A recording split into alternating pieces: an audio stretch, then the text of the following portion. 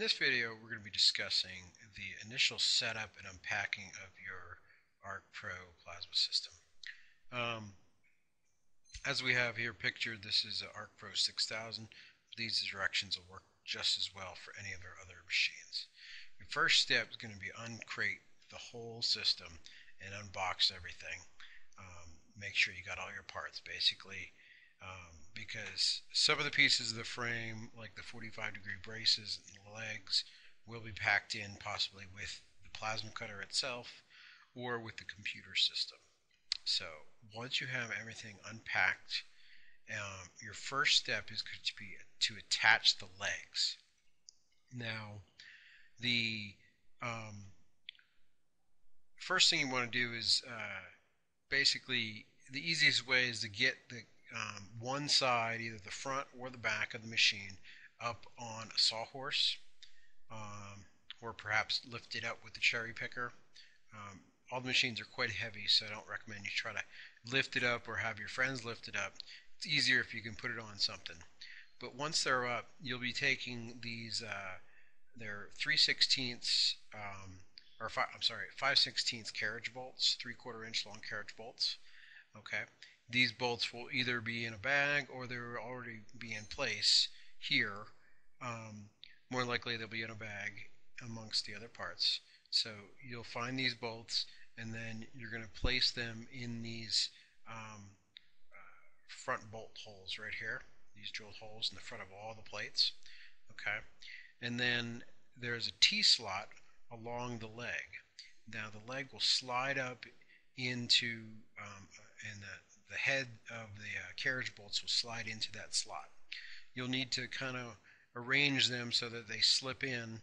Um, once you have them in, you'll need to, you just want to slide it up, uh, snug up against this bottom rail, and lightly tighten them down so they stay in place. Now one thing to notice is there'll be leveling bolts mounted to the bottom of each uh, leg. You'll want to have those mounting bolts facing towards the outsides of the machine, so furthest away from the inside as you see it pictured here. Okay. Now, um, another thing to notice, one of the legs will have this mounting bracket pre-installed on it. Okay. So that mounting bracket is for your control cabinet. And so you need to make sure as you're looking at the front of the machine that it is this front right side leg. Okay. Now once you have your front legs or your back legs installed, uh, just basically lift up the other side of the table and install the other set of legs. Okay. So now that you have the main legs installed, the next step is going to be attach a 45 degree brace. Um, basically what you'll find is you'll find these braces usually packed in with the plasma cutter. They will have a T-nut and a bolt on one end and if you look on the underside of the side rails, you will find that one of the bolts for this angle brace is already put in place here. So simply what you need to do is to uh, attach your um, your T-nut and bolt, slide it through this hole here, and then it'll slide up into this slot. And once you have it attached down here, just kind of line up your T-nut and then slide it up and then you'll need a um, Allen uh, wrench to tighten it up. And uh, basically just get these nice and snug. Um, they don't have to be uh, super tight. We'll tighten everything down once it's all up on its four legs. So, so now that you have the four legs on it with the angle braces, um, what I want you to do is to simply loosen up these bolts a little bit and so let it let gravity slide these legs firmly up against the side rails on all four and then tighten each one down. As you get it nice and snug just crank it down and do the same for its angle brace and then just work your way around the table that way. So now your four legs are going to be attached nice and securely the uh, next step is to attach your center bar legs. Um, you know, for a smaller 4x4 table, you'll have one center leg, and on the larger units, you're going to have two or three center legs, depending. Um, so basically, uh, you'll find your center legs and they simply bolt on underneath the table. Um, these bolts will already be in place for you. Um, and they use half inch wrenches. So now you got all your legs attached and next step is going to be to put your control cabinet on. Control cabinet simply mounts in here and these bolts should be attached in place for you and uh, you simply mount it in place and tighten it down. Okay. Um, move it along. The next step after you've gotten your control cabinet on is going to be to put your slats in. Um, your slats will be stored along this edge here for shipping. Um, but basically, what you want to do is, um, as you can see, we're we have we're starting at the front of the table. Um, we've moved in three slots and basically put our first slat there, and um, you're simply just slide one side in and then bend the slat and slide it into the corresponding slot that matches up. So they're, they're on in the same slot. So this one's three slots in on the other side of the table. It will also be three slots in. Okay?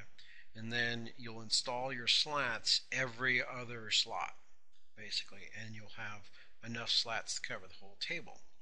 Now we have the extra slots put in place if you want to add your own additional slats um, this can be helpful if you're doing a lot of uh, intricate artwork and you're going to find um, you're finding that you're having a lot of tip ups. Increasing the um, the number of slats can decrease your tip ups. Now, one little feature we've added recently that I want to point out are um, uh, these material stops. Um, you'll find these either mounted on the right or left hand side of the machine. Um, they can go on either side um, of the machine.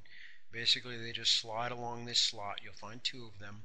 And so these can be adjusted anywhere along the side of the machine, and then they can be tightened down and adjusted in and out so that um, when you lay a piece of material down here, you can simply slide it up against this stop and it will be in line with your cutter so that you don't have to line your sheet up. Um, now this little stop also twists so that you can set it so it's just above the material surface which will um, decrease the likelihood you'll hit it with the plasma cutter if you're cutting close to the edge. So once you got your legs on, your slats on, and your control cabinet mounted, okay, Next step is going to be to mount your computer monitor. Um, this uh, simply mounts here. Um, you'll have a set of four screws that'll go into this back plate here and you'll have the power cable and the monitor cable zip tied right here and uh, you'll attach those and then moving on the next step is going to be to mount your computer if you open up the cabinet you'll see that um, all your cables for your computer are mounted here except for you'll need to run the um, keyboard and the mouse cable through this hole here and into the cabinet so that it can be and uh, out here so that you can attach it to your computer. So basically just plug all your cables in make sure they seat nice and firmly and screw all the connection terminals in um, the last thing you want is a loose cable. They can be very difficult to uh, troubleshoot if you don't know it's there. Um, and they can cause uh, weird, erratic behavior. So make sure all your tables cables are tight the first time you put them in, and you'll eliminate that problem. So once you have your computer hooked up and in place, basically your cabinet's going to look like this. Um, so I just want to talk a little bit about some of the the, uh, the what we got here. This is your your your power strip in here. This is going to have a switch over here. This is where you're going to be able to turn everything on and off, and it will also turn on your fan. And um, so generally, uh, after you've powered down your machine, you're going to turn this power strip off, and that will turn off your cooling fan. Um, if you look here along this left hand side of the machine you will see where your motor cables are plugged in.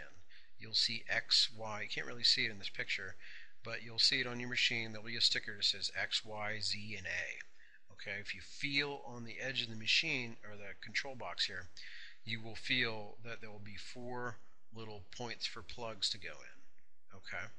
Uh, now the next step we're going to be doing is hooking up the um, limit or the uh, the home switches and the motor cables. Okay. So if you look on the side of your machine, you'll have a bundle of cables coming along here. There'll be four large ones that have um, plugs on the ends of them. Those are your motor wires, and they will be labeled X, Y, Z, and A. So feed those motor cables in through here, okay, and then match them up with the corresponding plugs along the edge. Um, the plugs can only go in one way, and they have a little snap feature that, that kind of snaps in, them in place once they're locked down. So you want to make sure that you get them locked down and firmly seated into the control. Um, and so basically just X. The X plug goes to the X and then so forth. X, Y, Z, and A. Um, so make sure you get the, the cables firmly plugged in. Now one thing to remember is that you never want to remove these cables when the power to this box is on. Um, if those cables are removed, sometimes you can damage the drive motors. Okay. So now that you got your motor cables plugged in, the uh, the next step is going to be to hook up your um, home switches. So the home switches are going to be pulled out already to this terminal out here. Okay, you'll find a set of spade plugs on the ends of the other. Uh, there'll be four wires with a total of eight spade plugs on them, and they'll be labeled X, Y, Z, and A. And you'll simply match them up with the correct. Um, down below it'll be marked. So You'll have a sticker that says X, Y, Z, and A. Alright, so you simply match them up and tighten those down. And once you're done with those connections and you've pulled the power cable for your um, power strip out, um, you're done with all your electrical connections. Your computer's hooked up, your motors are plugged in, your home switches are plugged in. Everything is correct, everything's wired. Um, so double check all your wiring, make sure everything seats nice and firmly, make sure all your connections are good. Um, and the uh, the next step we're going to move on to is hooking up your plasma cutter. So um, this these instructions are going to mainly talk about hooking up a Hypertherm system, but it's going to be pretty much the same for other models too. And if there's a specific situation, we'll have talked about it prior to receiving your machine. Um, but basically, you know, get your plasma cutter hooked up. This is we're showing a 65 here, um, and you'll see that there is a box um, that will be velcroed onto the side of the machine. This is your sensor box, and then off that box will be coming a cable, and usually this is already pre-installed. Um, usually I'll have pre-installed this wire for you. But you just want to make sure that you're plugged in um, securely here and that sorry the uh, all these plugs are securely in place. Basically it's just a four little plug it's real similar the same thing as the motor cables and then there's a radio jack plug right here. You just want to make sure that's firmly seated in place okay? And then the last thing is you'll see that there's a long yellow uh, Cat5 cable inside your control cabinet that is plugged into the side of your um, control cabinet. What you'll want to do is pull this club cable back out the um, this hole in the back that all the other motor cables come through and that will plug into your sensor box here okay now generally you're looking to probably keep your plasma cutter about oh I'd say ideally at least five feet, maybe even 10 feet away from your control cabinet. It'll minimize the chances of um, interference basically happening with the system. Um, usually it's not a problem. One thing you can do is, I mean, basically if, if, if you're, you're looking at your machine, uh, you know, have your control cabinet over here and then basically set your plasma cutter over here and generally you're going to be fine provided that your your torch has enough cable to reach basically. Um, if it does set it set it as far away as you can basically. Um, and that cat 5 cable will be the cable that will go out to it. Um, so once you have that done I mean of course you're going to need to hook up your air supply to your plasma and um, you're definitely going to want to have nice clean dry air for your plasma cutter. It's very important. Um, if you run with uh, wet air or air that has oil in it you will notice it. You will ruin your tips very quickly. Your cut quality will not be as good. Um, I recommend getting a very good desiccant drying system or even better getting a um, refrigerated air drying system and you will definitely get higher quality cuts than if you don't have it. Okay, so um, at this point, your machine is fully hooked up, and everything, all your plugs are in place. Your uh, computer's ready to power on, and you're ready to start moving through the other um, instructional tutorials, uh, starting with powering the basics of the, the Mach 3 screen and also the jogging uh, videos. Um, so um, thank you for purchasing your system and um, please don't hesitate to give us a call if you have any questions about the setup of your machine.